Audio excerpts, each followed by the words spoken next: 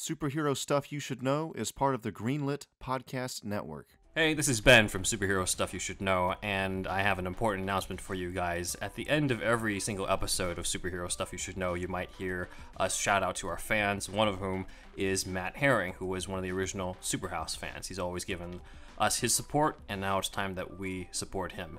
Uh, we've just recently found out that Matt has been diagnosed with stage 4 colon cancer. And as a cancer survivor myself, I know personally that there's a lot of emotional and financial strain that comes into that. Uh, his wife, Kelly, has set up a GoFundMe account at gofundme.com slash f slash Matthew hyphen kicks hyphen cancer 039s hyphen butt. Uh, and hopefully you can help reduce the financial strain to that as well as some of the emotional strain that comes with that again that's gofundme.com slash f slash matthew uh, dash kicks dash cancer 039s dash butt Matt Herring was the first, I guess you could say, true super house fan. We were super house at that time. You know, the first fan of this podcast and what we do here, and um, has always supported us, talked about us, and um, he's from a town close to where I'm from, and uh, so we share that as well. And just a huge superhero fan, and you know, nerd like the rest of us. And now he's going through that. And uh, if you could donate just at least any amount of money to that link that Ben just said, that would be truly appreciated. Just hang in there, Matt. You'll beat this thing soon.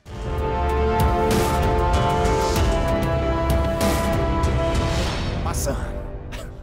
My son. Now it's time to teach you the greatest lesson of all, and that is how to take a poop in the ocean.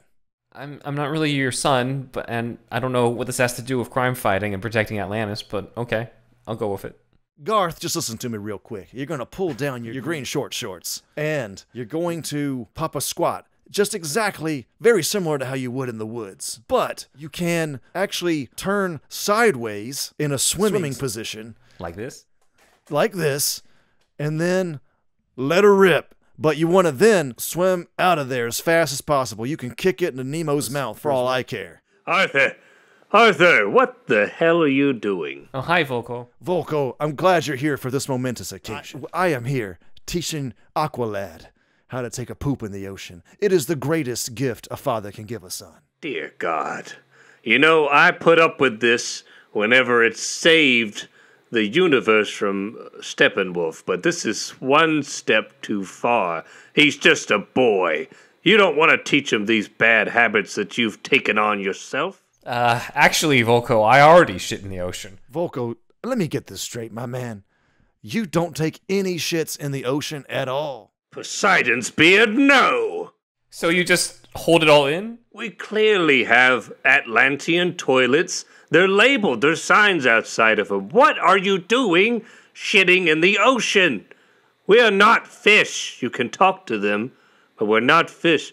Civilized. We are a civilized society. Now get over to the restroom like a normal fish person. I think it is perfectly natural for us to shit in the ocean, just like the landlubbers shit in the woods. It's very much the same thing, as long as you swim away quickly so as you not get any of it in your own mouth.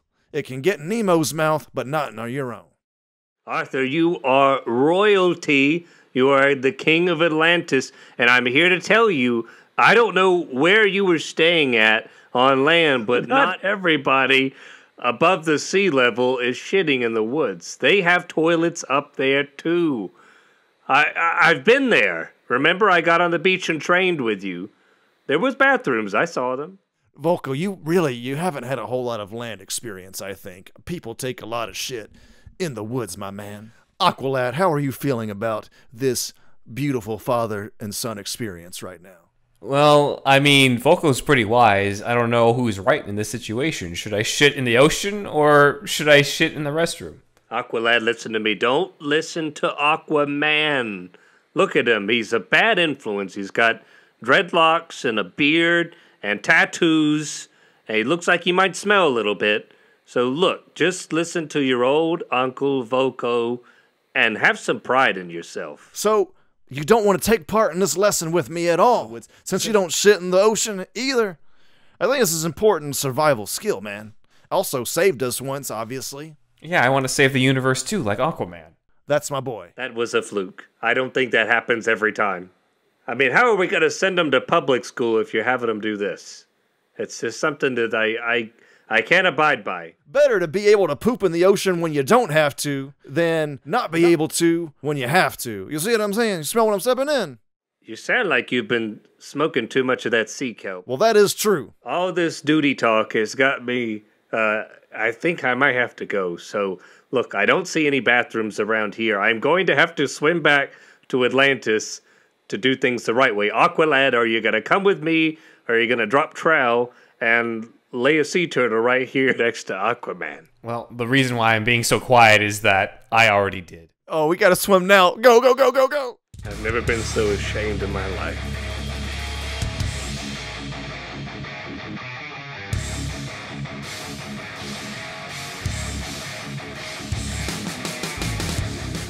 Welcome, everybody, once again to an episode led by me.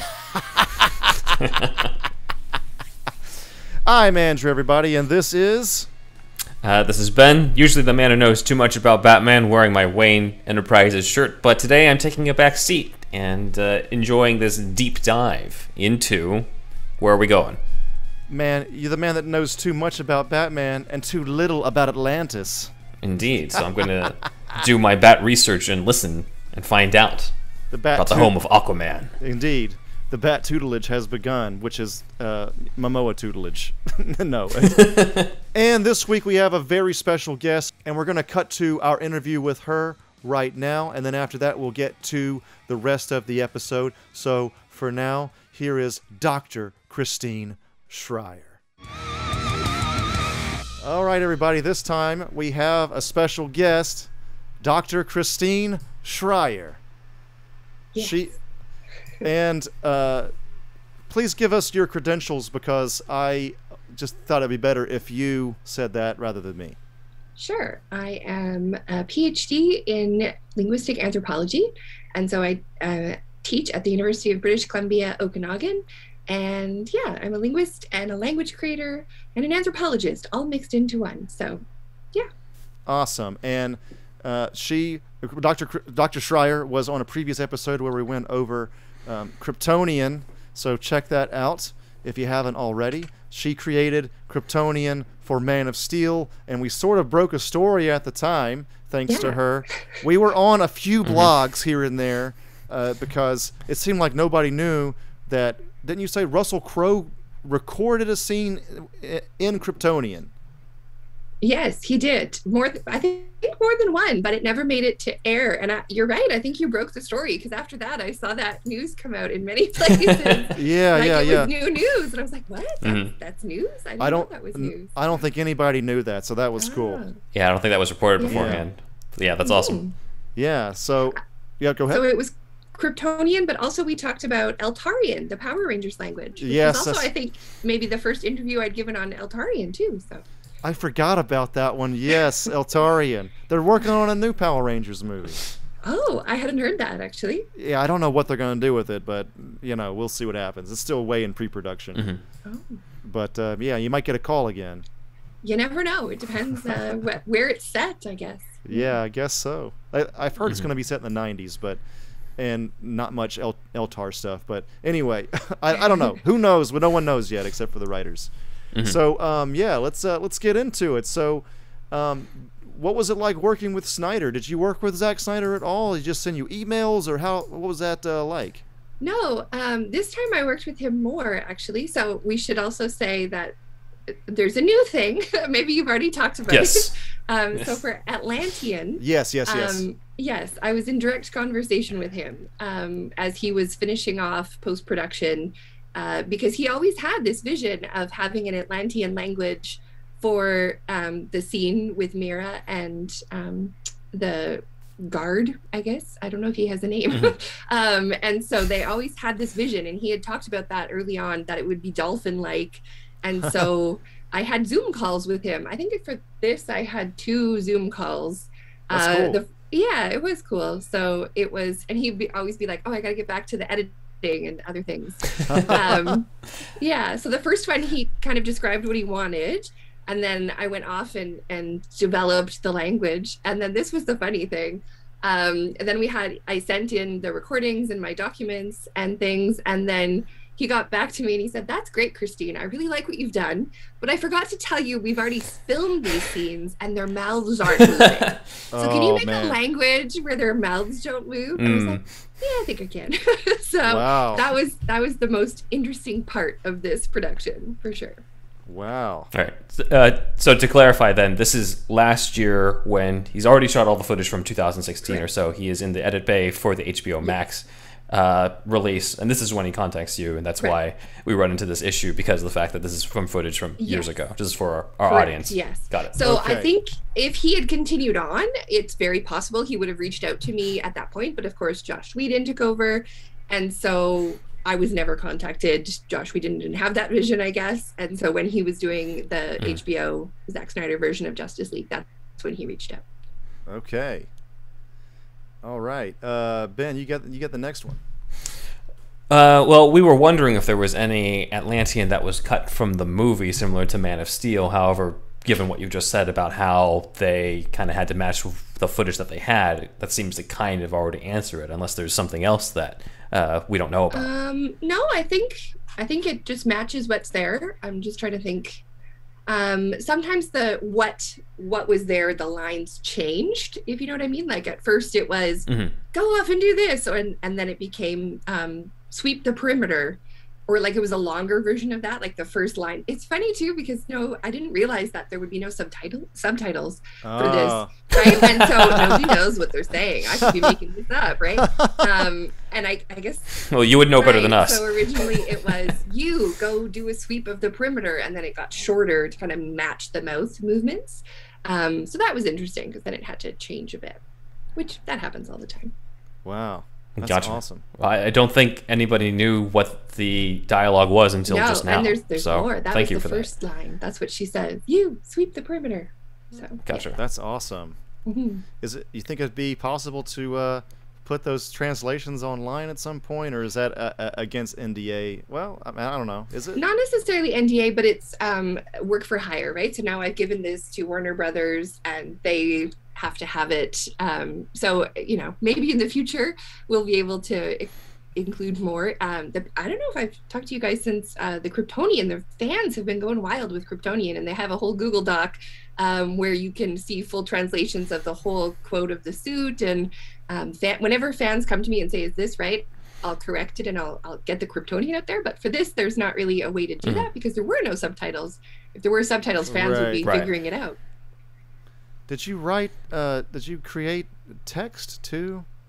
For this one, for Yeah. Atlantean, Yeah. no, this was all all oral. So um, yeah, just the sounds. There was no writing system for this one. Okay. Cool. Yeah. All right. Just wondering. Yeah, they call it. I've seen them them refer to it as Schreyer Kryptonian. By the way. Yeah. Yeah. Mhm. Yes, Yeah. that's true. Okay. So, what are the main linguistic features of Atlantean? hmm Well, there's quite interesting things in here. Um, so I'm just reading from my document because it's been a little while. So Yeah. uh, I did talk to Zack early on about what he wanted it, and definitely underwater creatures were an inspiration. So especially dolphins. And so I looked up a lot of YouTube videos about dolphins um, squeaking and making different sounds. But I've actually written, so I do a lot of my academic work on um, constructed languages, and I'm in a a book called um, Teaching with Invented Languages. And I wrote a chapter in there with another linguist, also a language creator named Nathan Sanders. Mm. And in that, we talked, the chapter is called The Interdisciplinarity of Conlangs. And in my section, I actually talk about Kryptonian and how my students have made Kryptonian words. That's one of their assignments. I give them the linguistic details. That's Oh, awesome. nice. Yeah, so you can f- see a lot of non-canon words for Kryptonian in this chapter, um, which I don't know if people know either. There's a whole bunch of non-canon words out there. And then uh, in my colleague section, Nathan, he talks about how his students, when they're making languages, they do things with different underwater sounds or physics. And so he talks about underwater languages and uh, bird languages. So if you have like the neck of a bird, what sounds could you make? And so how does that impact this? And so I looked at this underwater physics section that Nathan had written, um, which talks about how sounds travel differently through water. And so um, it, they would have lower vowels. So Okay. if, if you talk about E, it's really high in your mouth, but if you say ah, it's lower. So there is that. And then fronter, they're more to the front of your mouth. So ah Okay. as compared to ooh. Okay. So the vowels in this are very front. Um, they are E, A, and ooh, uh, a version of ooh, but like closer to the middle of your mouth, ooh, like that. okay. Yeah, so that was a little bit about that. Um, and then consonants, uh, very limited consonants. So I have a nasal, n, and a click, and a glottal, which is a little pause, right? Like if Yeah. you say uh oh, because Yeah, yeah. underwater you're not going to have a lot of. You don't want things that are using a lot of your air because you're underwater. It's going to create bubbles. Right, um, right, right. So very limited consonants and more of these um, ah sounds at the front and a. Yeah, there's no glottal stop in English really, other than uh oh, right? I mean, yeah, not, not, much. in not in uh, American, North American, Canadian, or American English, but in uh, British English, you have things like buckle or oh yeah, that's true. Yeah. Japanese has it as well. I, I've studied Japanese, and Right. yeah, it's it's it's all over, and I, I, apparently Hawaiian as well. Um, I'm sure you know Yeah, that. Actually, Yeah. Hawaiian was also an influence. My first version of this was very Hawaiian feeling, like Okay. it had a p- t uh, sounds, but then those require moving your mouth more. So, ah, okay. but you can say n and without. I, I did a bigger mouth movement there, but you can make a click without moving your mouth. And so when I redid it, I made a video of myself saying all of the lines without moving my mouth. So Zack Okay. can see that I wasn't moving my mouth. Yeah. That's cool. Nice. And so then all the um the syllables are quite short too. They're all consonant vowel vowel consonant vowel like very simple syllables. And there is a diphthong. There's ow ow. Oh, okay. All right. Yeah. Mhm. So now you can go and listen to those things out there. So that's a little bit about the sounds. So that was Um, translated the ah the, and the all the sounds you talked about. That's translated into dolphin trills, basically. Yeah. uh, Well, they also did uh, post editing effects. Ah, yeah. so yeah. so the actors um, would speak the sounds, and then in post they changed it to sound more dolphiny. Okay. All right. Yeah. Cool. Yeah. All right. Um, the other thing is the sentence structure. So this one Yeah. in Kryptonian, uh, we talked about how it's subject, object, verb. This is subject, verb, object. So just like English, uh, simple. Like so, for anyone who knows English, it's simple for them. I got to tell you, that blew my mind when I first started studying Japanese because I didn't know that languages were could be like that. Like a, in Japanese, the verb is always at the end, mm-hmm. which is actually the most common grammar structure on the planet, right? Yeah. And then SVO, like English and Chinese, is second most common. But yeah, I just it blew my mind. And then to find out there's VSO, so Kryptonian was VSO, right? So verbs always first. No, it was subject, object, verb, Okay. just oh like yeah. Japanese. So oh, so Kryptonian was like Japanese. Okay, I Yeah. gotcha. Okay, interesting. All right, yeah. Cool. I, for some reason, I find that fascinating. The least the least occurring naturally is OSV or something that happens in some Amazonian languages or something like that, I thought it was OVS. or OVS maybe. Yeah. which is what we talked about this last time. I remember. Uh, Oh, is yeah. Klingon. Klingon. Klingon was made to be uh, the Yeah. the most alien. Yeah. Yes, because it's the least, least naturally common. occurring. Yeah. Yes, right. Yeah, Mhm. yeah, yeah. All right. Sorry to take up so much time, Ben. Go ahead. Uh, no problem. Uh, I guess the next one I had was, you know, even though a lot of people know the Schreyer Kryptonian, that was not uh, spoken in Man of Steel. So now that this is spoken in the Snyder Cut of Justice League, how does that feel, or does that feel different from how it felt when you worked on Man of Steel afterwards? Right.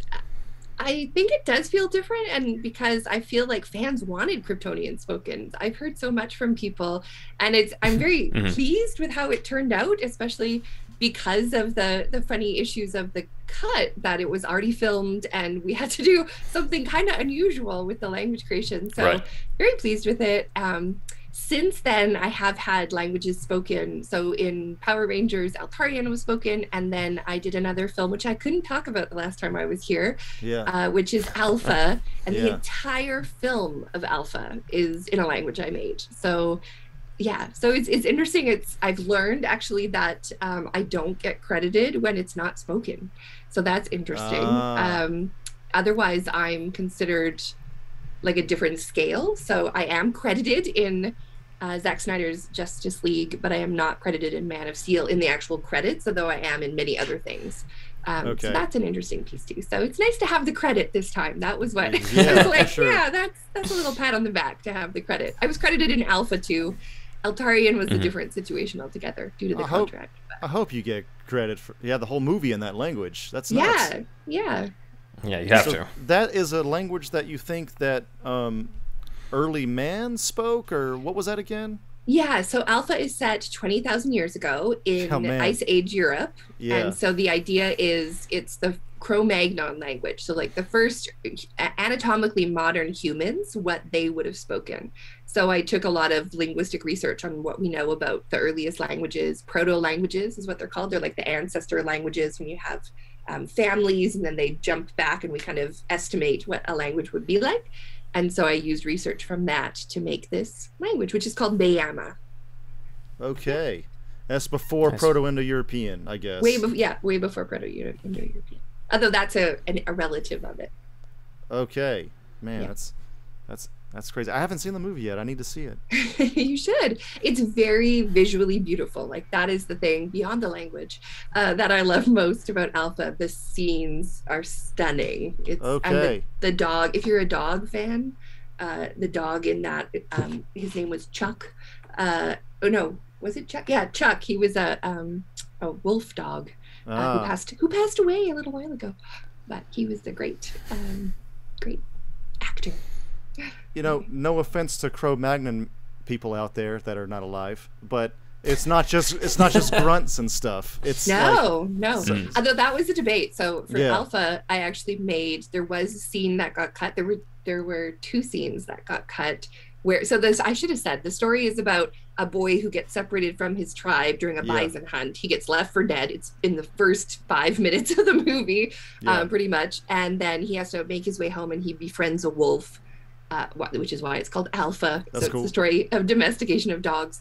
But um, Oh, in his return, he is supposed to run into Neanderthals and some other random hunters who are not his people. And so I made three languages for that oh movie. shit. I made Neanderthal, which got cut. It gets cut all the time, Ah. guys. So, and also this hunt. It was Mm. called the Huntress language. Um, yeah, so that was interesting. But but they originally just wanted the Neanderthals to grunt, and I was like, uh, uh no, Oh, really? That's not gonna interesting. do that. yeah. yeah, S- Something not PC about that. right. Yeah. okay. Wow. All right. That's crazy, man. hmm I, that that is cool though. That not, not many people cover that. I'm surprised I haven't seen that. That's some that's shit I'm into. It was it was kind of a letdown at the box office when it Was came out in 2018 well it was kind of niche and um yeah i think it didn't make as much money as they wanted it to so Good reviews though. yeah it is a Hmm. really good film Uh, back to nerdy linguistic Yes. shit, but uh, why'd you choose SVO just because it was going to be uh, subject verb object like English? Is just that's just because it's going to be already hard enough doing dolphin trills and shit. Why not? Why make it any harder? Yeah i guess i i don't know if i had a really good reason for this one. Uh, i did do interesting things with the prefixes so the verbs are not like english. They're marked for who's doing what to whom on um, the verb uh, so that it shows with a little prefix. So if we say um, the first line actually that i have here is we must stay vigilant and then it's got yow yow is the prefix that means we and then you is something else entirely. Um, it is oh oh. So um, yeah so i did interesting things with verbs uh, rather than changing the sentence structure this time or at least i thought they were interesting. Yeah, Um, yeah. yeah. Oh the other thing i should say was Yeah. a tonal language. Oh, is if- it? yeah like chinese. So if you say um ah that means air. Well ah means with for example. Okay, that's cool. yeah Yeah, which is like there were so few words. I didn't really get to play with that mm-hmm. that much, but I did do it a little yeah. bit. One of the lines mm-hmm. um, was, "Let us use the old tongue of air for security," which I think got shortened down, um, but which is why I have the word for air. The old um, tongue of air. Oh, because the they used to be air. they used to be on land. Atlantis used to be on land. Yeah, yeah. So that's right oh. before they make the bubble, right? They yeah, say, yeah, yeah. She says, "What news do you have ah. from King Orm?" Yeah, uh, yeah. And then let us use the old tongue of air for security. So then they make the bubble, which I think is a really important line that people should know. That um, is cool. That's cool yeah. mythology. That is important. Yeah. yeah. So the word for the old tongue of air is yeah. yeah. Clicks. Mm-hmm. That's awesome. Yeah. Sweet. Anyway, tonal awesome. languages. I, I was yeah I was curious about any of the other lines that yeah. you had worked on or had done that we either don't know from the movie or that uh, you could just tell us that might have been original lines before things got yeah. changed. Um, so that's one of them, and I think I think that line is still fully there. Um, they're said so quickly, right? And then they're post edited. So, um, and mm-hmm. then she says uh, to the guard, his name is Kudal, Kudal with me. And then he says, Yes, Commander. And then she says, Go look. Yeah. So, mm-hmm. gotcha. Awesome. Well, that's an exclusive for those who were yeah. wondering what they were yeah, saying exactly. during the movie because there's no subtitles. right. Which Blowing the story I mean, wide open. Yeah. Yeah. Yes. I don't. I, that was a choice, right? That Zack made to um, you know make it feel more authentic to how you're viewing being there i guess right but yeah i don't know that's awesome you so yeah, you made you didn't make like a full language with a shitload of words. You basically made the language just for these lines? Right. Is that basically yes. how it works? Okay. Yeah. yeah. And you can expand upon that later. Yeah if so yeah. if i'm so uh, inclined. Who knows? Maybe i'm teaching that class i'm teaching my class on language emergence which is called Language Emergence from contact languages to constructed languages. And this is the one where I've made my students do Kryptonian words in the past. They could choose. They could either write about that or write about something else. So maybe we'll do Atlantean ones. This give them the phonology for clicks and things and see what they come up with. What what do they need? Mm-hmm. What vocabulary do they need? And then of course it's non-canon because my students make it. That'd be awesome. I'd be interested to see right. um, if you made text at some point. That would be yeah. cool because you did that for Kryptonian, right? Right. So the there was a graphic designer who did the actual design of the text. That was Kirsten Franson, but I came up with the system for the syllabic text. They were already doing like the S means hope and Zod's shield mm-hmm. means um what does Zod's? I think it's destruction or I can't remember. Okay. Uh, what his shield means, but that's something. cool. Yeah. Like like like like the S the S is that. hope and then yeah. Zod's yeah. is destruction. I should because it does have a chest yeah. symbol. Yeah, yeah, yeah. I should I should probably double check that. I, it's something. Maybe it's not destruction. It's something like I don't know. Opposite something, of hope. Yeah, the Despair. opposite of hope. Despair. It's, it's, there is because remember everyone. I don't know if you remember this. Did you do this? Did you get your glyph creator name where you could go oh. and get your own symbol? Are you kidding me? I was all over that shit. Yeah. So I was I was all, I made my glyph. I went yeah. to the site. I was insane about Man of Steel. Work anymore? It oh, work is the site down? The site stopped working about three or four oh, years. I can't make mine. though. Oh, Ben, you missed out. Warner Brothers, heed, heed our call. Yeah. I know you producers so that I can do it. this. Right. Um, I used it for years. Like I would give presentations on Kryptonian, and then I'd like mm-hmm. ask for a volunteer in the audience and like get them their shield and stuff. Um, but it can't. It doesn't work anymore. But that was we couldn't use whatever Zods were. So when we were making what the meanings of all the house glyphs were, uh, Kirsten designed them, and then I came up with like the words that would go with them. So I yeah. do remember one. Okay, this is an inside scoop. There is one, the House of Ron. Did anybody have the House Ron? Do you remember what yours was? I honestly can't remember. I did it like a lot, yeah. but I don't. I don't you probably had remember. five different glyphs. I probably did. Yeah. Um, the House of Ron was uh, persuasion Okay. And um, it was definitely persuasion. And I can't remember the other word that went with it because it was from my father, whose name is Randy. So it was Ron, which is the Kryptonian version, and he's the salesman and he's very persuasive. Ah. So that's why it's the ah. House of Ron. Wow. Um, anyway, yeah. That's awesome. Yeah, it's great that's when awesome. it's personal like that. That's great. Yeah. Yeah. Awesome. We we we probably talked about this last time you were here, but You have a you have a favorite? Is it still Navi? I think Navi was your favorite last time, or your conlang, a constructed language. Oh, One- the oh. one one that you've done out of the ones you've made.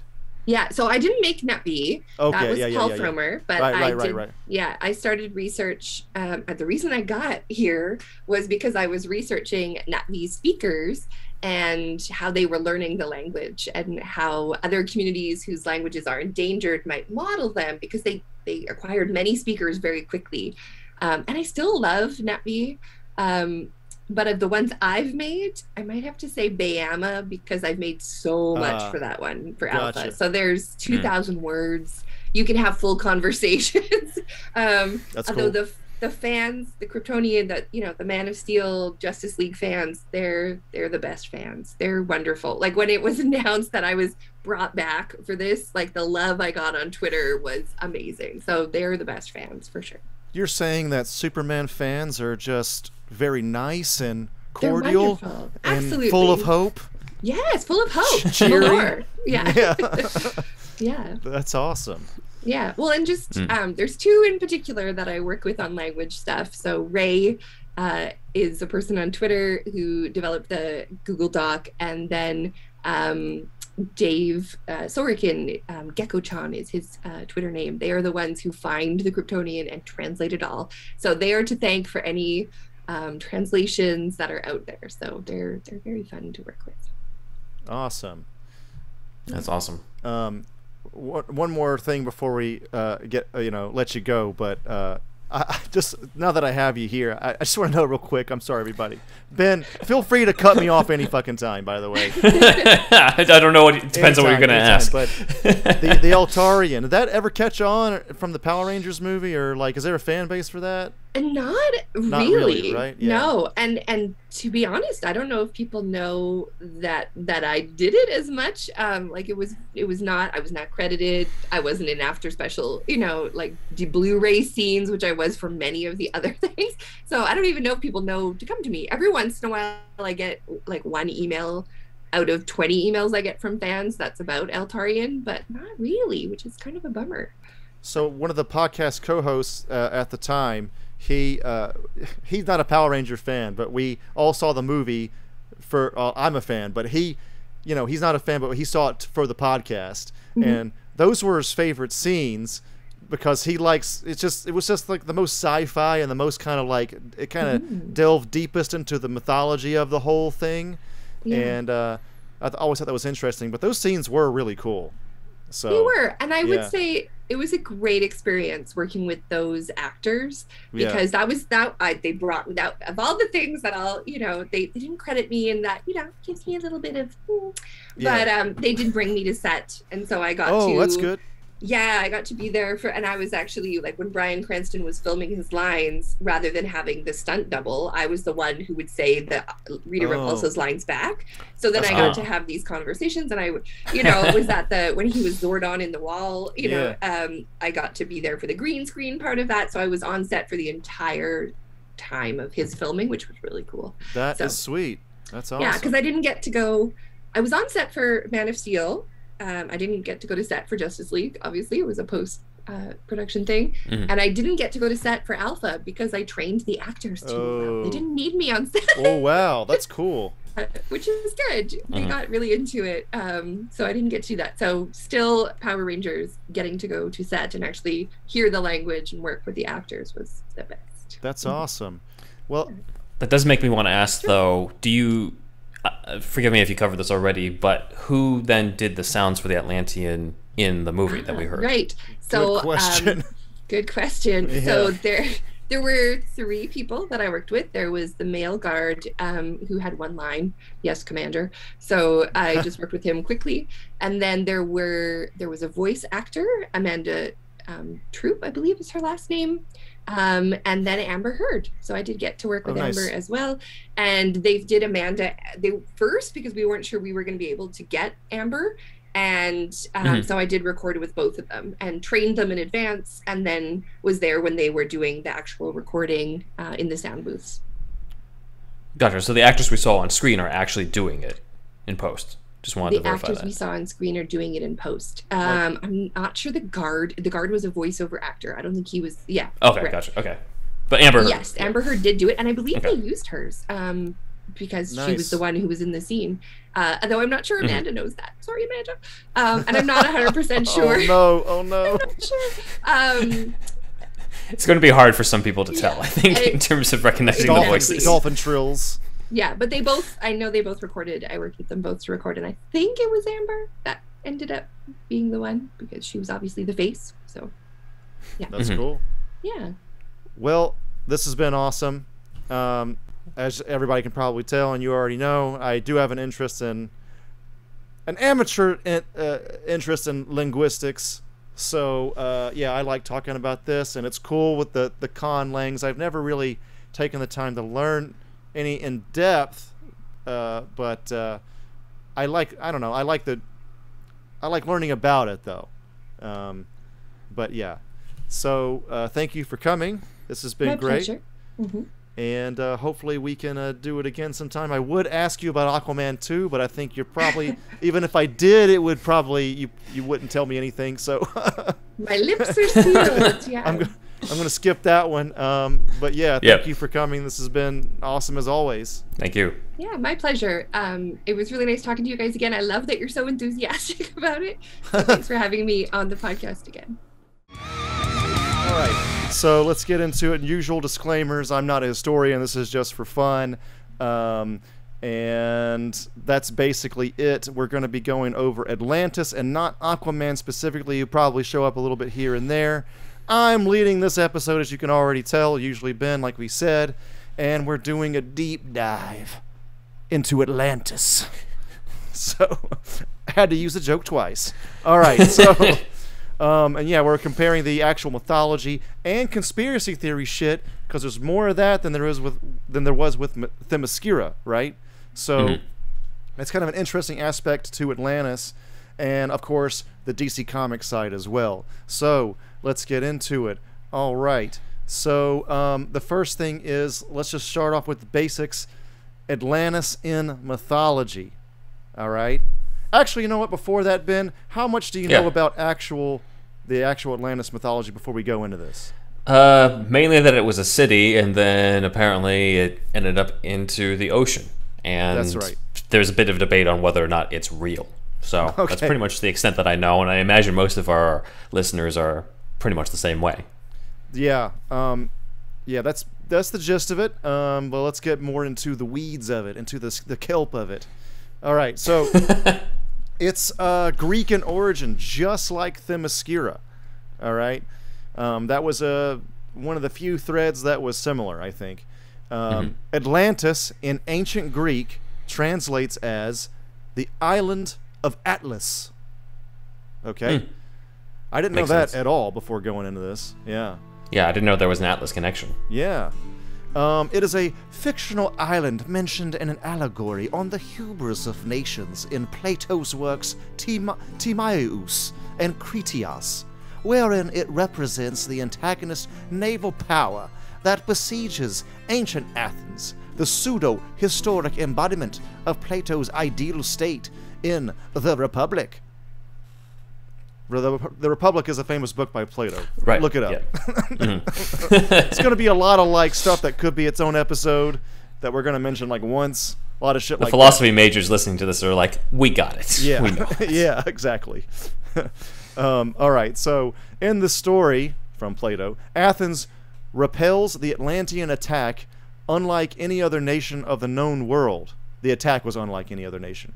Uh, and then the story concludes with Atlantis falling out of favor with the deities, with the gods, and submerging into the Atlantic Ocean.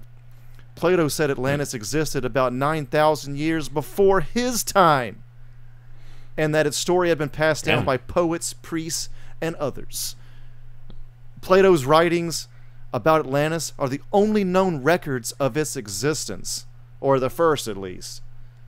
Um, Really? So it all stems from this guy. If he didn't, if Plato didn't have this, then we wouldn't know about this at all.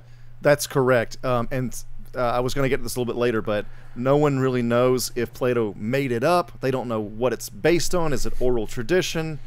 Uh, you know, there's there's like not much to go on there. Uh, so it could just be Plato made all this shit up. It's not out of. I mean, they made fucking Zeus and shit up. So, um, or it comes down from Proto-Indo-European traditions that was eventually culminated into what we know as Zeus. Uh, Hmm. But anyway, yeah. Um, They should have Bill and Ted go back in time, but then take Plato this time, and then have him go to 2018 to watch Aquaman. Exactly. See what he thinks about that. He'd probably be like Socrates and Bill and Ted. Like, he also loves Atlantis. Yes. he loves superhero movies. yeah, exactly. Yeah, you never know. Um, okay. So, Atlantis has become a byword for any and all supposed advanced prehistoric lost civilizations and continues to inspire contemporary fiction from comic books to films, as we all know. Um, and, uh, yeah, the other major thing is Atlantis sunk. It wasn't always under the ocean it starts out as a continent and then it sinks because the because of the gods basically um, and that's that's the version of mythology that's the version in dc and also the it's in all the versions. It's in fucking the conspiracy theory all of them. So um, and part of the conspiracy theories which i thought were funny was atlantis was swallowed up by the bermuda triangle. Atlantis just became antarctica moved by tectonic plates or some shit. Uh, It's a little much. yeah, yeah. Um, what happens under the ice? What will we find? Um, yeah. So, uh, and an actual reason in in for the in the mythology for its sinking uh, is uh, I found this from an historian named Orser. Uh, I forget his first name, his or her. But uh, it said, The legend of Atlantis is a story about a moral, spiritual people who lived in a highly advanced utopian civilization. But they became greedy, petty, and morally bankrupt, and the gods became angry because the people had lost their way and turned to immoral pursuits. As punishment, the gods sent one terrible night of fire and earthquakes that caused Atlantis to sink into the sea. All right. Wrath of the Gods, you don't want to mess with them. Wrath of the Gods. All right. Yes, you're right. Not Um, Wrath of the Titans, Wrath of the Gods. exactly. Titans are different. All right. So um, we talked about the Greek, uh, the Themyscira's location. We're going to talk about this here. It's you think it's in somewhere in the Atlantic Ocean, and that's generally the consensus. But also, uh, most of the historically proposed locations are in or near the Mediterranean Sea. Um, so, uh, and near islands like Sardinia, Crete, Santorini, you know, shit that was close to Gre- Gre- uh, Greece, ancient Greece, right? And modern day Greece, I guess. Uh, so, uh, in the comics, Atlantis is located in the North Atlantic Ocean. Like maybe somewhere around Iceland. I'm not really sure. I don't think. I think it's probably ambiguous on purpose, but it did say Yeah. North Atlantic. Uh, So yeah, nowhere near the Caribbean or uh, Brazil or whatever. Uh, so uh, yeah, I couldn't find anything on the exact location of Atlantis in the movie.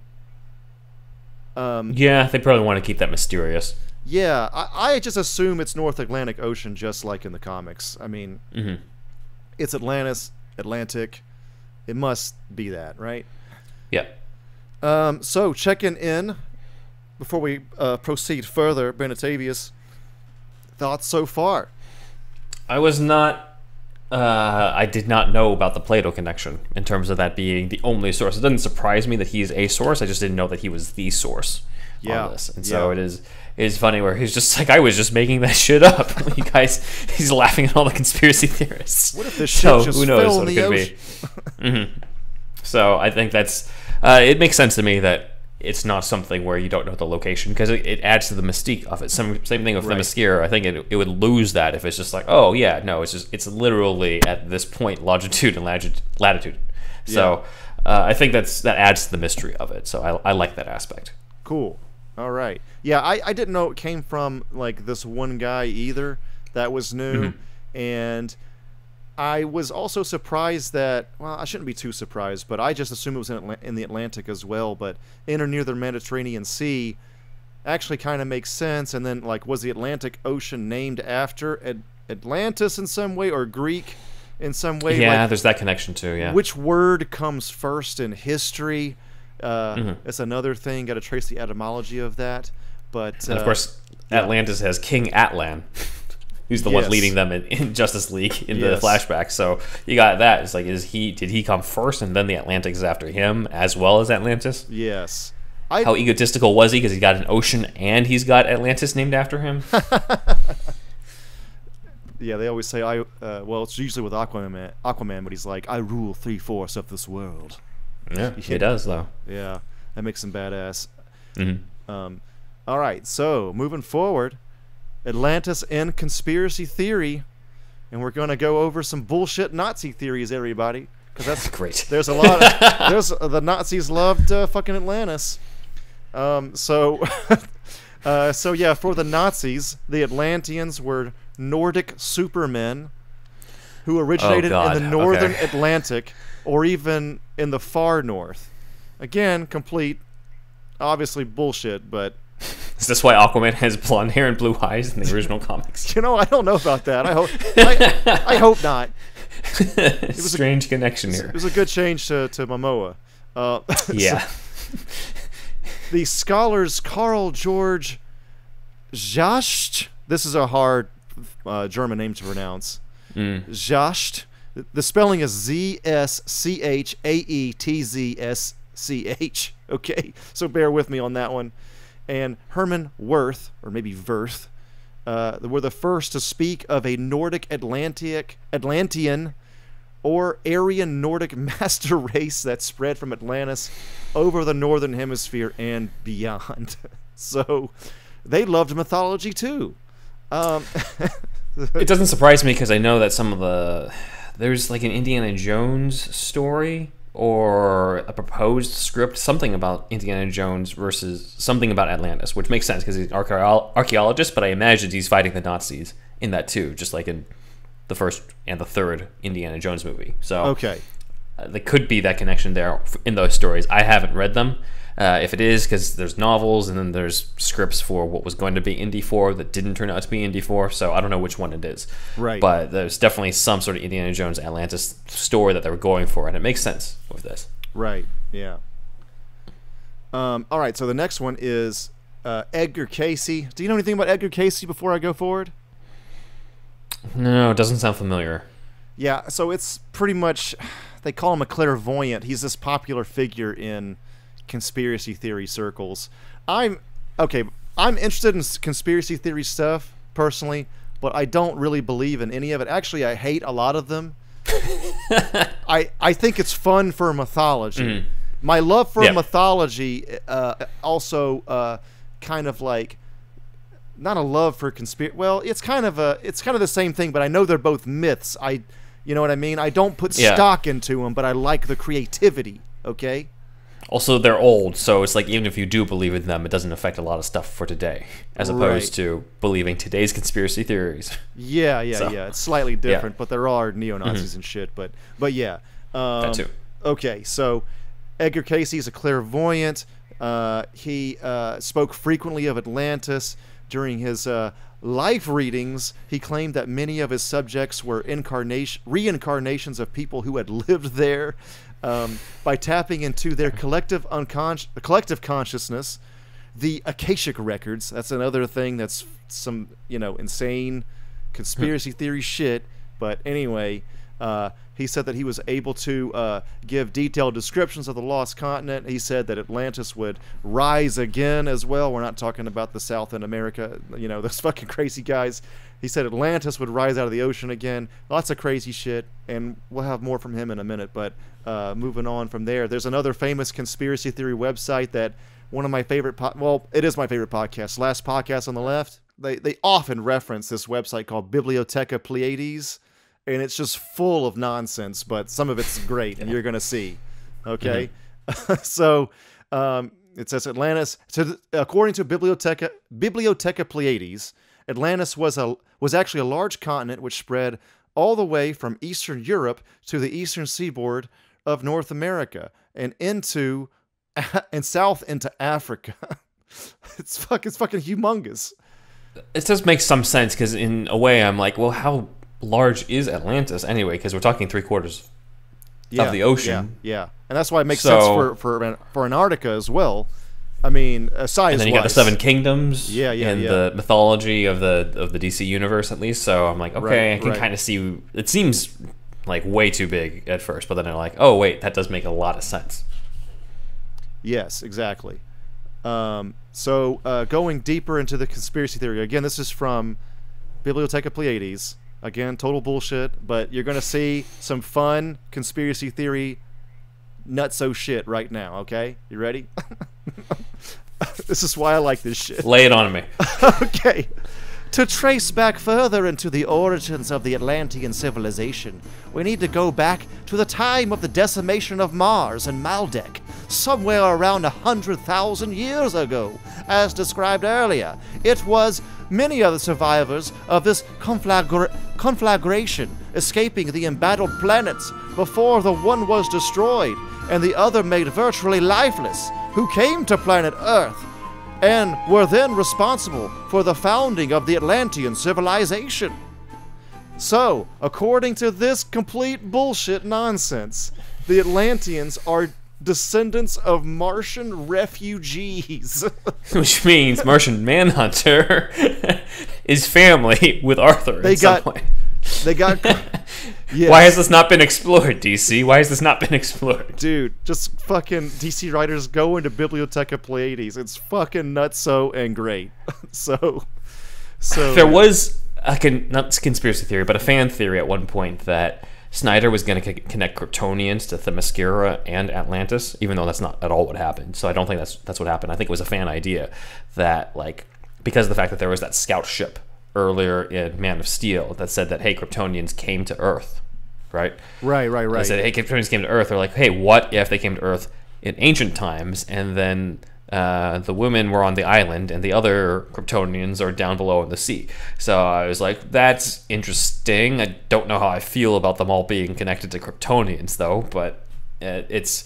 I can see some vestige of this conspiracy theory feeding into that fan theory. Right. Yeah. I think like the comic writers and the fans are, are checking this stuff. I don't think that I'm alone. If you like comic book shit, that's obviously fake, and conspiracy theory stuff that's also fun and should be fake. You know what I mean? For for these people, you know what I mean? Well, only a hell, few. like, only a few. if you go ahead. Go ahead. Go ahead. if, if you if you asked me to do an Aquaman story, I would not only look at the comics, but I would also look into all these just see what type of fun shit could I do with this that hasn't been done before. So this is one of those things. Yeah, yeah, it's great. It's fun. It's it's uh, but there's but the problem is, at least for me, is that a lot of people not I don't know about a lot, but like there's a probably an alarming percentage of people that might believe this stuff. Uh, a hundred percent, you know. Well, you also have to believe it's a double thing for you to buy because not only do you have to buy Atlantis, but you have to buy Martians coming to Atlantis. That's a big part of the conspiracy theory shit is that Mars was an Earth-like planet and it got fucked up, and uh, you know that Martian Manhunter stuff. I think some of that, some of that Maybe. like uh, bullshit conspiracy theory stuff is part of Martian Manhunter's um, backstory. I'm not sure, but I think there's Well, yeah, probably some crossover there. Destruction of his planet. Yeah, I can see yeah. where you're going with that. He's kind of a Martian refugee, so yeah, I can see that. I just wasn't expecting an Atlantis connection. Yeah, I know. That's unexpected. Martian refugees. oh shit, man, it's great. Okay, uh, anything else before we move on? What are you thinking about this crazy conspiracy theory shit? Just think about the Martian Manhunter of it all. Yeah. If this were to be connected into the DC universe on it, so obviously they haven't, or if they did, it's a more obscure story that I don't know about. Let us know in the comments below if I'm wrong about that. But yeah, no, it sounds it sounds insane, but that's exactly why we're covering this because I think it's more interesting to to go into what people thought of Atlantis that's even outside of the DC universe. Let us know out there if you guys uh, have read the comics, or if you're knowledgeable of, uh, you know, them talking about ancient Atlantis and Martian Manhunters. Like, I know what happened. You know, I was there, or you know, some sort of Yeah. like uh, their relationship or his relation. He's well, Aquaman's too young for Martian Manhunter, I guess, but uh, you know, his his uh, um, ancestors. Well, yeah, yeah. Martian Manhunter's been on Earth for supposedly centuries, Right, right, right. maybe right. even thousands of years, Right. depending on which which version you're going with. So, I I can see him sort of knowing what they're talking about. Right. All right. We uh everybody was here probably for this mainly. Atlantis in the comics. We arrived everybody. So, Sweet. In DC Comics, Atlantis is an aquatic civilization appearing in American comic books, published by DC Comics, associated with Aquaman. It is one of many versions of Atlantis in DC. Okay, well, there's a few versions uh, of Atlantis. Of course, it's been rebirths and fucking New 52 and Final Crises and all this kind of shit. Uh, so anyway, the version of the city, uh, the first Atlantis in the comics is in Adventure Comics number 260. That was in May 1959. Was created by Robert Bernstein and Ramona Ramona Fraudone. Do you know Fra- Ramona Fraudone? Fraden, maybe? Oh, doesn't sound familiar. Okay, she was What? she's like was uh an artist and um she was the first one of the first like uh, woman artists in, in comics and they gave her aquaman maybe because he wasn't like a top tier hero or something i assume but she has really cool like vintage kind of well it's vintage now you know but like cool like old Right. old art uh, old comic old aquaman art so check it out ramona fraden maybe fraudone um, but yeah uh, so Atlantis is an ancient sunken kingdom in North Atlantic, like we said, actually the size of a continent. Um, one of the earliest and most highly advanced cul- cultural and magical societies on Earth.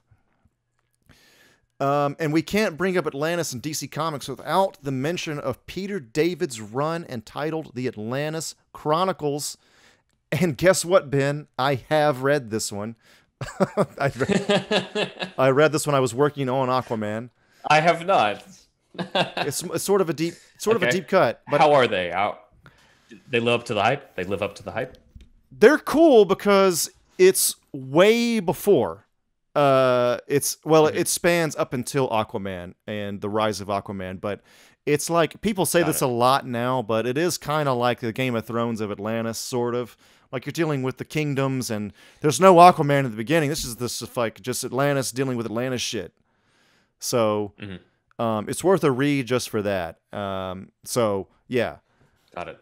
um, um, yeah, and I feel like uh, Awesome. our uh, you know eagle-eyed listeners or whatever longtime dc fans probably would shake their heads if we didn't mention this.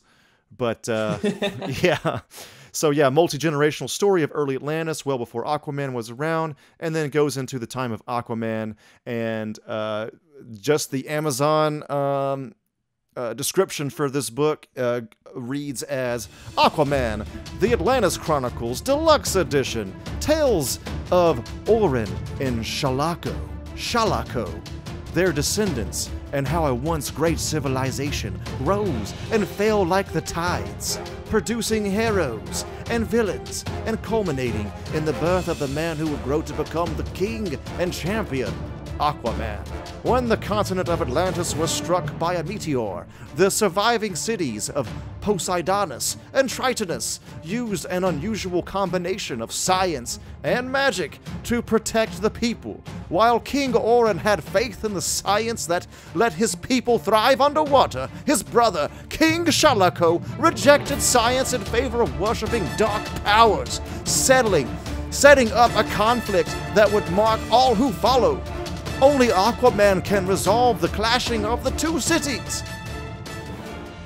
Okay, and we will make that comic our Amazon link in this episode, superhousepod.com slash shop. Check it out there. And then uh, we will go further into those two locations, Poseidonus or Poseidonus and Tritonus and more after the break. Hi, I'm Ray, and this is my friend Alex. Hi. And we do a show called No More Whoppers. Some call it corn, we call it therapy. We're adults with the virility of men. Want to hear us read snack food copy and talk about Japanese chips? Too bad! Join us every month or so on the Greenlit Podcast Network.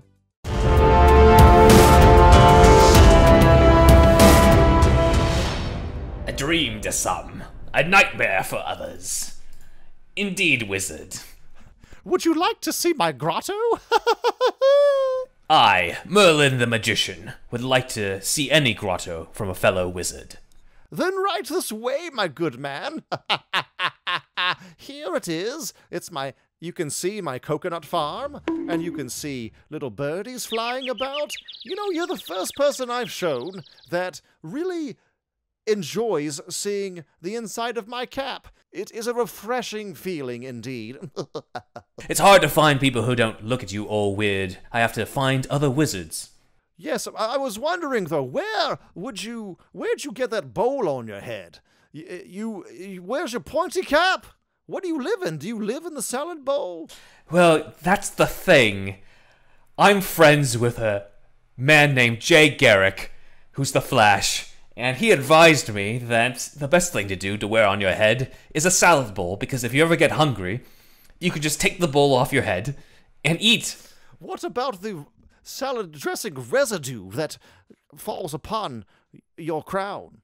Don't be a fool. I'm a wizard. I can get rid of the entire dressing just with a snap of my fingers. And a whisk of some Kleenex.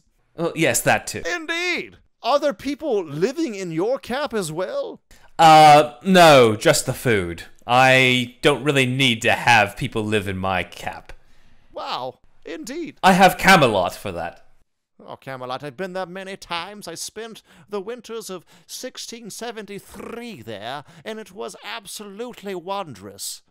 Yes, yes, thank you for that. I was probably in the cellar somewhere. Well, let's head on into the living room. If you if you don't mind me asking, Yes. indeed, wizard, what magic do you actually do? Indeed magic. I thought you knew that. I'm indeed wizard. I do indeed magic. Pardon my French, but what the fuck is indeed magic? Well, it's basically I can say any word or phrase or sentence, and if I just say indeed at the end, it's going to happen. Like the spell, there it is. Wait, so you're basically a regular wizard. You just say indeed at the end. That's pretty much it. Some people say abracadabra or some shit like that. Me, it's indeed. A wave of the wand as well. You need the wand, of course, but I say some bullshit, wave the wand, and then say indeed, and then spackety spoo diggly doo, there it is. Spackly spoo diggly do. I've not heard that one before. Well, it's uh, maybe before your time. Before my, I'm the oldest wizard of all time. What are you talking about? I don't know about that. Are you saying you're older than me? I'm I'm from the beginning of time. Motherfucker, I'm from the beginning of time. If you were from the beginning of time, you wouldn't put a fucking bowl on your head. I didn't have the bull on my head in the beginning. It's an evolution. You were testing my wizardry when you wear a bowl on your head. At least I have a cap, and I live in it. Who the fuck lives in a cap? Go get a real hoe. Fucking wizard, that's who. You know what? I don't. Get a real fucking castle. I don't like you being in my cap. I'm. I- I've changed my mind. You. I'm sending you out. Spackety spoo, a dickety doo. I will let myself out. Abracadabra goo. Fucking stupid ass bullhead wizard. No wizard of self respecting. Who is Merlin, most famous wizard of all time? Piece of shit. Indeed, Wizard's the best wizard of all time. I'll tell you that much. Indeed. All right, everybody, if you like that little preview to the sketch right there, we have that plus news, plus we're bringing back some opinion pieces and uh, review type stuff and all kinds of stuff in our $5 tier on Patreon. So just go to patreon.com slash superhero stuff pod. And if you become part of the $5 tier, you can see these new bonus episodes. Basically, consider it Superhouse DLC. A-O-E-ah, me-ah, ee-ah. Let us use the old tongue of air for security. All right, so let's get into those regions of the DC of DC's Atlantis now. All right, you ready for this shit, Ben? I am. You seem like you kind of knew about this shit a little bit. Which part? You know about Poseidonus and uh, Tritonus? Uh, not at all. But it said Poseidonus, and I was just like, yeah, I was suddenly reminded of the comparisons that Grant Morrison have of Ah. the Justice League to the Greek gods, and of course, Aquaman is obviously Definitely. Poseidon. Okay, yes. All right, gotcha. All right. The long hair and the the long hair and the beard also help with that. Definitely, yes. they're not they're not hiding it. Okay. Um s- yeah, Superman is Zeus and all that. So okay. Mm-hmm. Flash is Hermes. Okay, so Batman is Hades. exactly that's the that's the badass shit. All right, so mm-hmm. Poseidonus or Poseidonus. I like I like both pronunciations, but anyway, named mm-hmm. after the Greek god Poseidon, of course, capital city of the continent known as Atlantis. Geographically, it lies right in the center, and it has a, the neighboring city is Tritonus. Tritonus. Both cities are connected via a network of subterranean tunnels. So under underground, under the ocean, it's really fucking deep. Makes sense. Yeah. Yeah. Um, Aquaman maintains his base of operations in Poseidonus. His secondary headquarters, however, Ben, is the Aqua Cave. Are you kidding me? No, I'm not. Does he have a giant penny in there too? I think so. It's turned green from the fucking water. that would be kind of awesome. actually. Arthur, this looks disgusting. as he comes in. My man, I love the green. All right. so yeah. Um, so yeah, there's an aqua cave. Um, the royal palace of all Atlantis was located in the heart of P- Poseidonus, and it has the seat of power for all the rulers for all of the millennia that they've been going. The salt processing plant is there, which you know it's a factory, whatever, but seems to be a big deal in some storylines. It's their main export in Atlantis. Salt um, makes sense, you know. I guess. Um, what else would it be, you know? Um, so uh, some of the, this is a funny one. This is another funny thing I found from the comics. This is another like jumpa kind of thing. okay. Um, some of the salt refineries were, were destroyed when a race of giant jellyfish who laid seed to Atlantis Atlantis came. Okay. Yes, there was a jellyfish invasion. it was a serious attack that came from a race of highly evolved giant jellyfish. These creatures despised the notion that the seas were dominated by the humanoid Atlanteans and embarked upon an ambitious plan to ensure racial purity in their territories. Wait, so the jellyfish are looking for racial purity? Because, Atlant- because the Atlanteans are humanoid, they're not pure fish. Got it. Okay, I see what they're channeling here.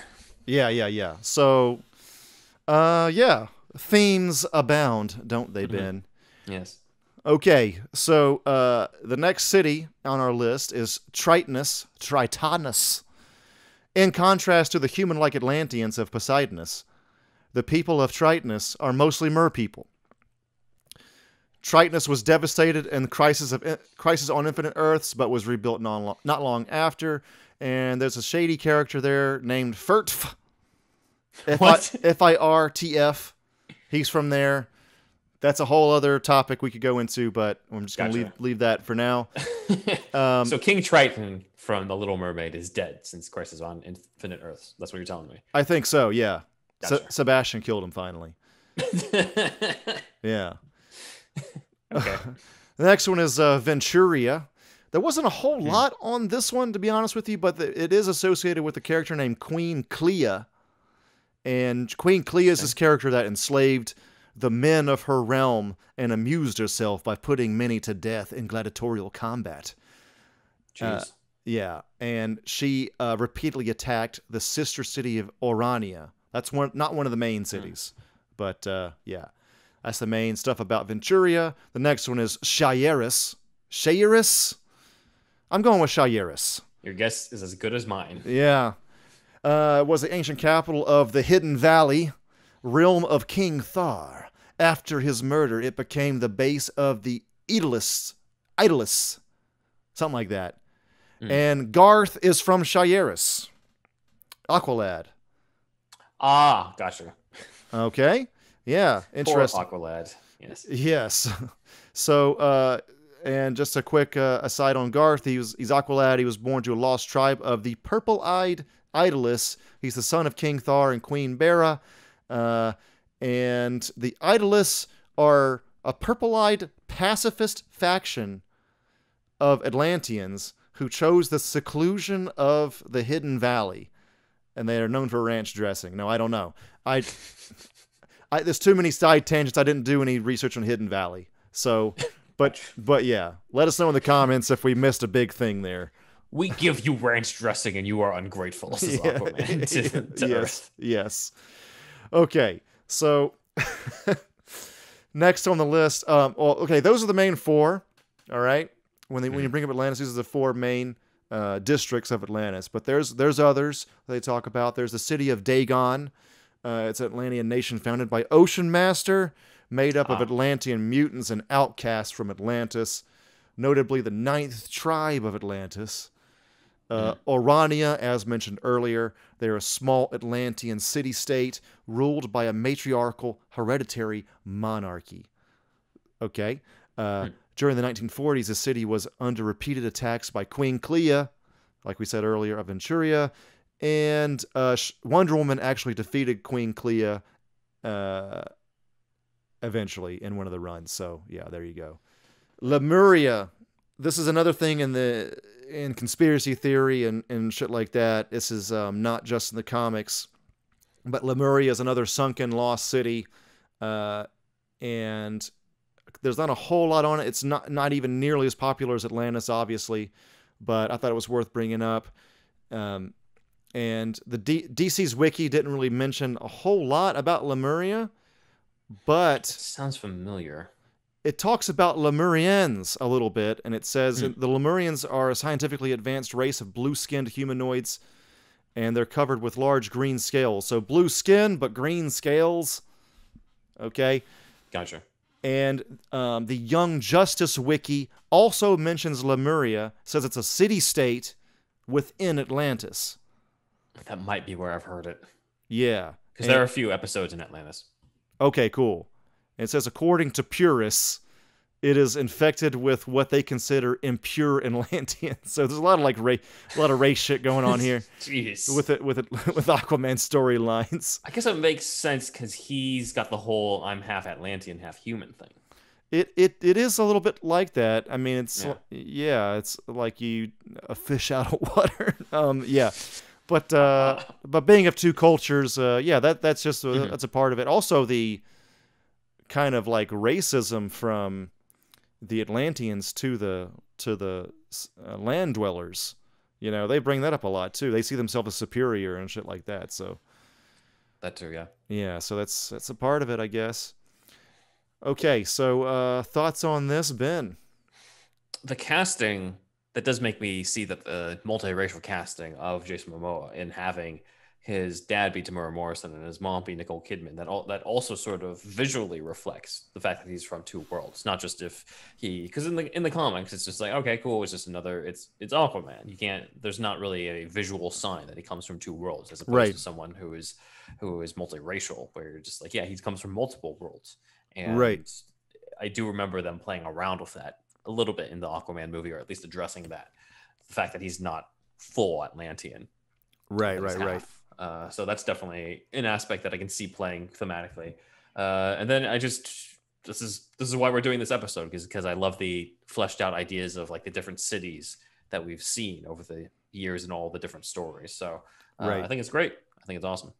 Yeah, I was surprised as to know how uh, fleshed out the city of Atlantis is, but I probably shouldn't have been this surprised because isn't everything fleshed out at this point? Decades of comics. You know, you got to go with something. Yeah, yeah. So it makes sense. Aquaman's got to do something somewhere in Atlantis, and yeah, people love world building, so It's three quarters of the world too. So yeah, it can't just be literally his kingdom the entire time. right, right. And also the Aqua Cave. Let's not forget that. All right, let's talk about that. this, is the first I've heard of this. There's the Arrow Cave. There's the Aqua Cave. Is there a Flash Cave? Like they all have caves. It is There's funny as hell. there's, there's not a flash cave, but uh, the aqua cave does make some sense because of the nature of being underwater. So I, Yes. can, I can see that. It rolls off the tongue well too. uh, Aqua Cave, I guess. Yeah, I don't know. yeah. It's fine. I mean, it's funny. I mean, there's a lot of humor, a lot of humor inherent to comics and how silly, you know. Arthur, do you is. have a single original idea? That's what Batman says Hey, to uh, hey, check it out. Check it out. It's the man. What do you think? It got- looks exactly like mine. I got a I got a giant squid here instead of uh in, instead of the uh the dinosaur, man. What what about that, huh? I guess that makes sense. Okay. Atlantis in the movie. Mhm. James Wan said, "Atlantis is kind of scary, but I didn't see I didn't set out to make a horror movie. I mean, that's not what this is about. It just so happens that you're dealing with a world that is magical, beautiful, but at the same time, scary as hell, right? People are terrified of the ocean because they don't know what's down there. I want to capture the fear that we have of the ocean, the scariness, but at the same time, the magical and wonder that comes with it as well. I And think he succeeded in that. he did. I mean, he has a horror thing going on in that as well, you know, with the trench With and the all trench, that. Yeah. That's cool. Um, also, in the movie itself, Mera said uh, Atlantis is many wonderful things, but forgiving it is not. And Poseidonus and Tritonus are the two areas shown in the film, apparently. Ah, gotcha. So they were Makes sense. They were used. Uh, so yeah. All right. Um, that's all I have. I mean, there's, pro- there's probably a lot more, but those are the main quotes from from Wan on on the movie, and and he's probably got a shitload of quotes about Aquaman, but these are the main quotes about Atlantis itself. Specifically, yeah. Yeah, yeah, Yeah, I, I would say that in terms of differences between Wan and Snyder, you've mostly, I mean, some of it is the designs in the armor. yeah, right? Vulko's yeah, got a very different look yeah. in Zack Snyder's Justice League versus the one in, in James Wan's. Do you have a preference, I guess, in terms of which Vulko look? Uh, I kind of like the armor in the Zack Snyder version. I was like, eh, he actually looks pretty cool. Not like he didn't look cool in the other one, but still. for for Vulko specifically, yeah. well, Vulko's look fits that movie. Um, but for for Aquaman, well, it fits both their movies. Um, Yeah. I did like him in Snyder's Justice League. He was pretty cool in that, and his hair is more like it's like it's more it's it's tied like back. down. It's in Yeah. a it's in a bun, right? In uh in in In movie, yeah. yeah. Yeah. So I mean, I like both. I'm not one of those man bun haters out there. Uh, so there's, there's there's surprisingly a lot of those. I don't do it myself, but but anyway, um, I like both. I mean, I don't. I like Aquaman's armor in Aquaman more. Than what he wears in Justice League. Yes. Well, yeah, I mean that obviously makes sense because he's he dons the armor of the true king. He dons the actual Aquaman colors yeah, in that movie. Yeah, that's true. That's true. Actually, yeah, you're right. You need to have that. You need to make that his arc. So I can see. I don't know if Snyder was deliberately planting that, where it's just like, well, he he only has a quindent, not a trident yet, and he's not fully in the in the orange and green. And then Wan's able to give him the trident and the orange and green. So I think I think that ended up working out, even if it wasn't completely intentional. Yeah, I think so. Actually, yeah, a lot of people made fun of that, but like character arc wise, it makes a shitload of sense. You Mm-hmm. know, he doesn't fully take up the mantle yet. Um, I will say again, just because we're talking about Aquaman and Atlantis in this episode, going from bro to king is a great character arc. So everybody that talks about he's too much of a bro Mhm. uh, in the in those movies, it's like, yeah, sure, but like, I, I hopefully in Aquaman 2 we see him in kind of like he wants to go drink a beer, but he or some shit, and he can't because he has kingly duties or something. Like he just maybe he hates being king, you know. Like Right. we're let's we're just gonna have to see what happens with all that, and then he sees just how much responsibility he has and has to has to keep up with. Gotcha. You know what I mean? I think it's Yeah, it would be a great be great good. character arc. Yeah. Mhm. All right, so Atlanteans myth versus DC. Let's talk about the actual residents of Atlantis in a little bit more detail. We're gonna uh, once again compare the Okay. myths, conspiracies, and comic book versions. So let's start off with the comics versions first this time. And the D- the DC Atlanteans, they are the native race that inhabit the continent of Atlantis, and they're not to be confused with the Mer people. they are sep- they are separate. This is uh, part of the comics. Uh, the modern Atlanteans are descended from both human and Homo Magi. Magic people. Yeah. So like Homo sapien, Got this it, is okay. Homo Magi. Zatanna. this, yeah. Zatanna is Homo Magi. That's why. That's that's where I heard it. Yeah. Yeah. All Atlanteans in DC Comics are, of course, amphibious, and they have super strength uh, compared to humans. And um, all of that. Like Aquaman's probably even more so, but all of them because they live under the ocean, all of them have some sort of super strength and super swimming, of course, and all that. Right? Okay. Right. The conspiracy Atlanteans. Let's go into that now.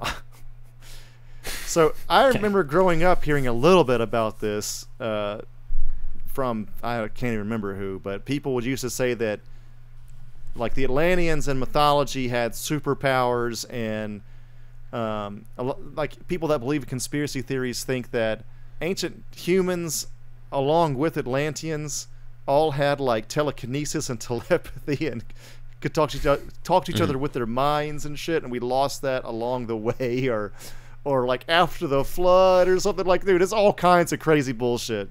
So yeah, uh, Madame Blavatsky. Uh, this is another like prominent figure in conspiracy theory thought. Again, everything she ever said was complete bullshit, but she called the Atlanteans the fourth root race, whatever the fuck that means. I'm sure there's a reason out there, but uh, anyway, um, the Nazis Okay. really they liked this root race idea bullshit as well. Although Not Blavatsky's surprised. not necessarily a Nazi, but there is some crossover. Yeah. So yeah, they they like some of the ya. shit she was talking about, but and like one of the things that they those two disagreed on again, obviously complete bullshit. But she said the Atlanteans were olive skinned people. That's what she believed. So not Nordic super race, you know, Hmm. Right. bullshit that that the Nazis believed in. The Nazis were like, never mind. Forget this Atlantis She quest. thought that the the Atlanteans were the ancestors of Native Americans, Mongolians, and and Mal- Malayans, is what it says. Hmm. Um, so yeah, all right. So then, of course, Edgar Cayce again. Um, he thought the Atlanteans were giants, ten or twelve feet in stature, and well proportioned throughout. Um, Blavatsky also thought they were giants. This is uh, the common ground here. And some conspiracy theori- theorists link this to the Nephilim because doesn't every fucking conspiracy theory go back to the fucking Nephilim? People love this idea of the Nephilim.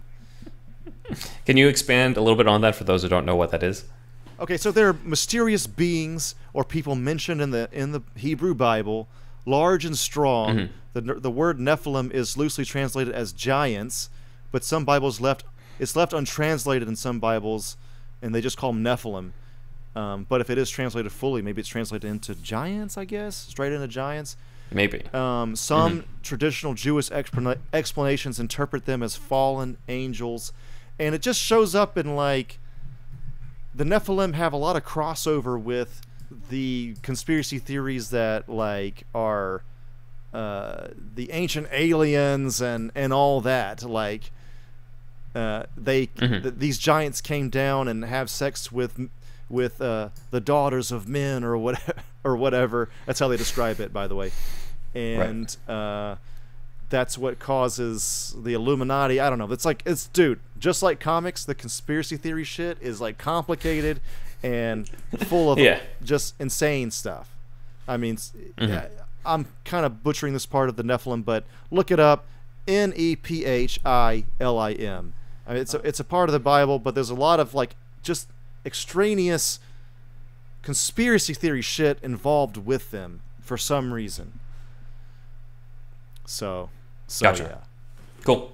Okay, so now let's uh, have a palate cleanser and go over just very briefly Plato's Atlanteans, The, original. the OG Atlanteans. Right. Okay. So Plato described them as simply humans who lived on a particularly fertile island continent before it sank. Makes sense. And Because he's mainly doing the origin story, right? yeah, yeah, the gods got Yeah. mad and that's what happened. It might have been just a fucking, you know, um, cautionary tale on his part. Mm-hmm. So, yeah. And it says, uh, although as the royal family were direct descendants of the god Poseidon, they may have had some divine blood, and as such may have inherited various divine powers. So, I believe this is, this is trying to say that the Atlanteans had divine powers from Poseidon, and Atlant. Plato's yeah, saying this? Atlanteans' royal family Huh. So even from the very beginning, Plato's like, yeah, they got powers.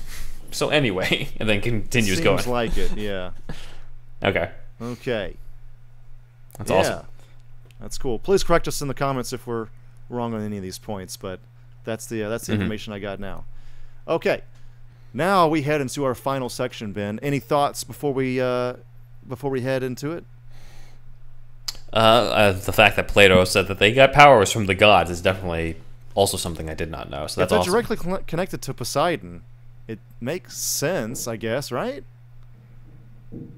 If Pose- Yeah. and if Pos- Especially connected to their royal existence family, underwater. family. Yeah, exactly. Yeah. So the last section, Ben, is Atlantis in metaphor. Okay. Eh, Interesting. Yeah. Okay. Historian James Romm believes Plato created the story of Atlantis to convey some of his philosophical theories. He said he was dealing with a number of issues, themes that run throughout his work, he says. His ideas about divine versus human nature, ideal societies, and gradual corruption of human society. These ideas are all found in many of his works. Atlantis was a different vehicle to get at some of his favorite themes.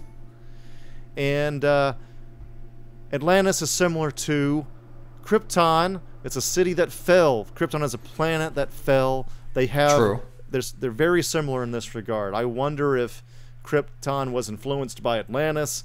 I don't know. I never heard that. Just wondering. I'm just thinking out loud there. But uh, they're metaphorically very similar. Okay? Uh, both advanced civilizations as well. So uh, another one was uh, there's a. It could also be used as a metaphor for something no longer attainable. For the American poet Edith Willis Linn Forbes, 1865 to 1945, the lost Atlantis stands for the idealization of the past. The present moment can only be treasured once that is realized. And finally, Ben, the British historian and novelist H.G. Wells put it best Okay. when he once observed There is magic in names, and the mightiest among these words of magic is Atlantis. It is as if hi- this vision of a lost culture touched the most hidden thought of our soul. Final thoughts, Ben. Oh, Damn. Was not expecting H.G. Wells to, to wrap this up. Expect the it, but- unexpected, Ben Atavius. no, this is definitely a world of fascination for a lot of for a lot of people over the past century or so. So I'm not surprised that it landed in the comics, but there's so much more to it than you know. I hate to say it's so much more to it than the comics, considering we're superhero stuff. You should know, but This is most of the shit we cover. Like, eh, eh, this is the reaction. This is a lot deeper than I thought. You know what I mean? This is like every every Yeah. topic we cover. So yeah, this is now a role reversal, not just in you taking over, but also role reversal where I'm the one where I'm like, this is deeper than I thought. When usually I'm the one who gets that, I'm the one who gets that Yeah, reaction yeah, yeah. when I cover Batman stuff. So with this, I'm like, oh okay, like, eh, but it makes a lot of sense given this has been around for centuries and, and people have all sorts of ideas of what it means, as we talked about with metaphors, or what happened, or why it's why it was in the ocean, or how it fell in the first place, or if it's still around. So I think that it's it's a great avenue to explore for fiction, and I can see why people keep going to that well every time. I think so. And we've I've said it before. I'll say it again. I'm a huge fan of something that people think is dumb. I mean, some people like comic books or for kids Right. or whatever. And that thing goes all the way back around to being deep mythology, entrenched in human history. Uh, uh, you know, telling stories is some is is one of the first things we did after we created language. Uh, of course, we were probably telling stories with proto languages or something. We have to get Sh- Dr. Schreyer back on to talk about that, maybe. But but you know what I mean. Right. The point is, telling stories and making myths are just very deep in in, in, in the human psyche, and comic books mm-hmm. are just another facet of that. And that's what makes it fun. Again, that's why it's superhero stuff you should know, because it's it's it's all related to kind of deeper aspects of, of, of our history and and and everything else. Like, why are they so popular? Because it hits a it hits a certain um, a deep thing in a lot of us. So so so yeah, I, I'm a you know it's fun. Like it's just it's just fun. So so yeah. Um, again, thank you, Dr. Schreyer, for coming on. It was it's always a pleasure, and uh, we'll have her on again at some point in the future, I'm sure. And uh, that has been basically it.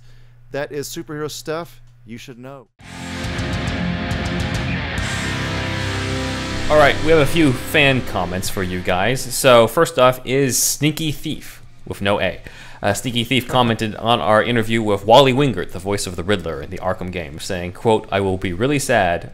Uh, I will really be sad if there's not another game where Riddler annoys the shit out of me while I'm collecting too many trophies." So That so the Very Riddler true. trophies have become kind of the poster boy for um, annoying shit to collect in a video game. You know, like they, they have it in every video game really these Yeah. days, but that that- that's the one people bring up. Have you seen the? There were some memes going around after the release of the the uh, Robert Pattinson trailer for Batman, where they're just like, "And this movie, Batman's going to be hunting after Riddler trophies the whole fucking time." I have not seen that, but if there's any mention of it, I will once again In the stand, actual movie? stand up in the theater. And Yeah, applause, Yes, yes. So uh, that's awesome. Thank you, Sneak, Sneaky Thief, for that. Uh, next comment is from Mark Johnson on our Themyscira deep dive, the counterpart to this episode. Uh, Mark Johnson said, "quote Found this channel yesterday after listening to the Aronofsky Batman script breakdown, and I haven't stopped listening to your videos since. Awesome channel, guys. Thanks, Mark. Thank you for that, Uh, man. That's awesome. Uh, the, that Ar- Aronofsky script is still one of our favorites to dive into. Yeah, that was wild. Uh, Ezra West had a couple comments on our Unlimited What episode on Batman Returns and the script there, but I'll pick out this one. Uh, Ezra says, "quote I like how they skipped the Grayson tragedy." So he's talking about the Sam Hamm script, uh, I believe, where Robin was already a street kid; he was already an orphan at that time. So Ezra says, I like how they skipped the Grayson tragedy and we meet Dick a, f- a year or a few months after. He probably ran away from his foster home or never even got picked up and has been living on the streets. Whatever the case, it adds to how horrible of a place Gotham is and it shows a parallel to Bruce. Two kids whose families are murdered. One gets to grow up in a mansion and the other is homeless. That's an interesting point. Yeah, that's cool. That's good. No notes. I agree. No notes. We agree, Ezra. Thanks for thanks for listening in. So those are the three comments. Back to you, Andrew. Okay, so thank you for those comments. And now a thank you to our Patreon supporters, who are Shasta, Leom O, Jose Arrocha, Super Inframan, Douglas P, Dan D, Aaron Willett, Nick Noah, Jesse E, Jeffrey R, Sketchcraft, Scott V, Yuli, and our other supporters Sparkageddon, STCT Productions, Robert Schumann, Kukin Noms, Matt Herring, Elijah B, Shamrock Balls, Ian H, Walter the Wobot, John Wells, and Rye Guy. Any new ones? That's it, right? One more I'd like to add. Thank you on Instagram to the user comic.capital. Thank you very much for your uh, support and uh, definitely check out that page if you haven't already. Go to Instagram comic uh, period capital and a ton of great superhero material. Yes, thank you for that. Um, ben was was handled uh, was talking with you about that, and uh, thank you, uh, Ben. And um, what was the account again? I'm sorry. Comic capital. Comic Capital, yes, um, that did, um, you know, help us out a little bit. So yeah, that, that was awesome. Thank you for that.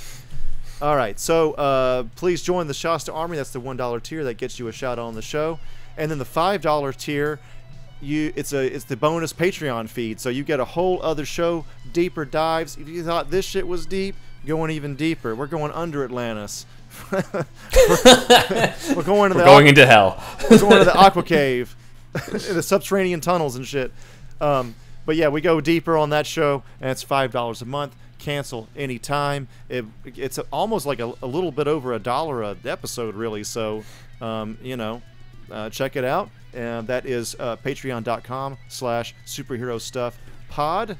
And we have uh, merch. Get your Ben Man mug. Get your Indeed Wizard shirt or whatever, uh, we have it on there. It's superhousepod.redbubble.com. Also on teepublic.com slash user slash superhousepodcast 5000. Also, superherostuffpod.threadless.com. And we have uh, all kinds of stuff on there. Uh, the artwork, the Bin Man and the Indeed Wizard artwork is by Wolfie, Wolfie Cruz. Please leave us a review on iTunes. And also, uh, please record us some audio of something and then send that to superhero stuff or superhousepodcast at gmail.com and we will use that on the show. Doesn't have to be anything like your own sketch or anything. It can just be hey love the show guys. Anything like that. Super simple. Doesn't matter. And uh, we will use it on the show. Uh, and uh, yeah. And then please animate our sketches if you got the gumption if you got the gusto. Please you can we will allow you to use our sketches our audio sketches for your animation. Just please put a hashtag at the bottom somewhere through the entirety of the video. Can be in the corner small text doesn't matter. Just as long as it's there in the video itself. And uh, let us know if you do that because that would be awesome. We have gotten at least one person to contact us about that so maybe we'll see that in the future. We'll see. Mhm. uh, and uh, yeah, I'm Thunderwolf Drew on Instagram and Twitter. And I am, uh, check out thunderwolflives.com and also Thunderwolf Lives on YouTube.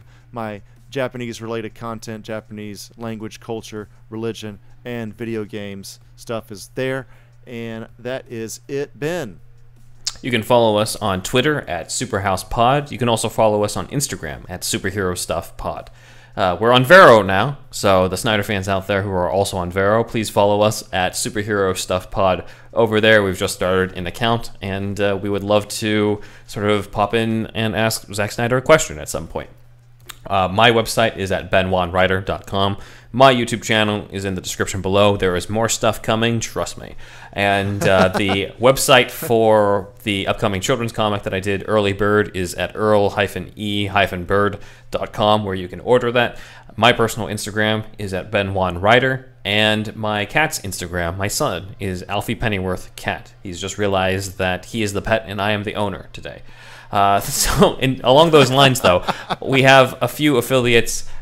We have Whiskerbox and Barkbox. So, if you have either a cat or a dog and you want to get them a nice gift box from month to month, I believe, then you can go and check that out. That is at superhousepod.com slash shop. You can also check out on that site. We have links to eBay, links to Amazon for all sorts of different merchandise you can get, including the Aquaman issue that Andrew was talking about earlier. Yeah, that it's a it's the the Atlantis Chronicles by Peter David, famous uh, uh, uh, run Aquaman run that he did, and um, yeah. So just a little further explanation. It's it's like the selected, curated by us Amazon links. If you buy it from Amazon, if you buy it from that link, it just gives us a little kickback. That's basically it. So that's why we're doing it. And also, of course, all the other affiliate links that we said kind of do the same thing. So, uh, so yeah, please check that out. Superhousepod.com slash shop.